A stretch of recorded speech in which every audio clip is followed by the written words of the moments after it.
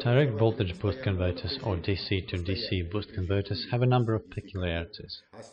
First of all, the output voltage in these converters is higher than the input voltage.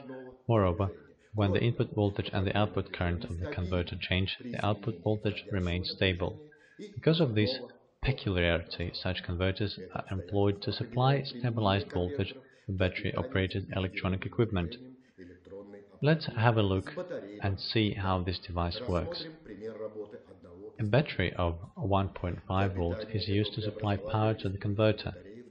On switching on power supply on the R1 resistor 1 witnesses a decrease in current. Then the current goes through the T1 transistor base and both T1 and T2 transistors are in the conducting state. At first the T2 transistor collector has zero voltage, and the increase in current goes through the transistor collector and the throttle. The current is constantly growing until the T2 transistor reaches saturation state. This will result in voltage increase on the T2 transistor collector. As a result, both T1 and T2 transistors will close. As the current on the throttle of the T2 transistor collector ceases to increase, the T2 transistor collector shows high voltage which charges the C1 condenser through a Schottky diode.